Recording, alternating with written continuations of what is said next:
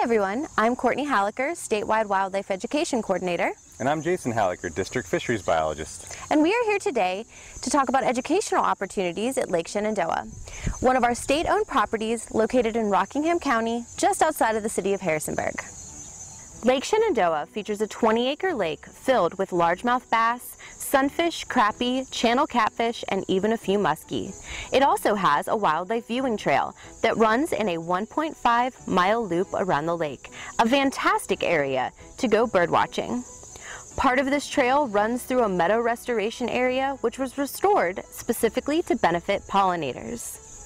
Here at the Pollinator Trail, located just off the main parking lot, I'm always amazed by the amount of life here. There's literally dozens of butterflies and bees and moths using the flowers here in the restoration area. Uh, it's a great place to come and walk and enjoy wildlife. Uh, the best part of this trail is that we have some great interpretive signs here uh, that deal with wildlife and conservation. That's right, we've tricked you into learning something. The Pollinator Trail features eight interpretive signs covering a range of topics like riparian buffer zones, monarch butterflies, and even prescribed burning. Each sign is linked to a video through a QR code that you can scan with your smartphone. This unlocks an interpretive sign scavenger hunt that teachers, students, and families can take advantage of. Jason, can you tell us a little bit about the scavenger hunt? Yeah, sure can. So we've created a series of videos for the Pollinator Trail that uh, line up with the eight interpretive signs and we've uploaded those videos into a program called Edpuzzle. Uh, Edpuzzle is a free online platform where instructors can upload videos and then embed questions into those videos to challenge their students. So, students use the information in the videos and the interpretive signs to answer the questions. That's exactly right.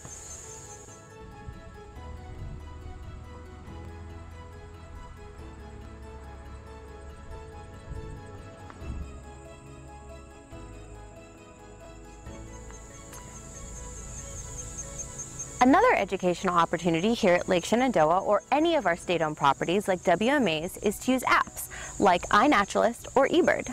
That's right. Uh, when I'm out and about, I like to use the iNaturalist app. It helps me identify plants and insects. And then I'll also use the eBird app to, of course, identify bird species. So it just helps me become a more well-rounded individual to learn about the, the world around me. Yes, and by using these apps, you can actually help contribute to citizen science projects. That's right, and we'll put links to those apps in the description of the video so you guys can check them out for yourself. Did you find something new over here?